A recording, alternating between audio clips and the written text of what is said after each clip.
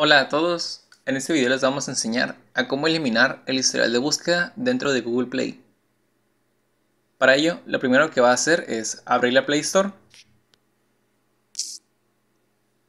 y una vez dentro de la Play Store vas a presionar en tu icono de perfil, el cual se encuentra en la esquina superior derecha. Ahora lo que tienes que hacer es presionar en configuración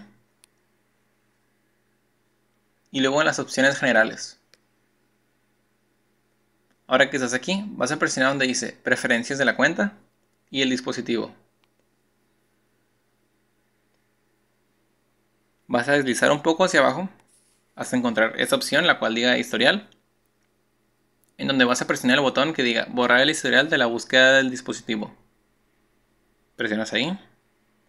Y te a preguntar si estás seguro de hacer esto, ya que una vez que lo hayas borrado, no se puede volver a conseguir el historial. Presionas en borrar historial si estás seguro. Y listo. Como pueden ver, en la parte de abajo nos da una pequeña notificación de que se ha borrado el historial de búsqueda de nuestra Play Store. Espero que te haya gustado este video. Si quieres más tutoriales de este tipo, no dudes en suscribirte. Y si tienes alguna duda, no dudes en dejarla abajo en los comentarios.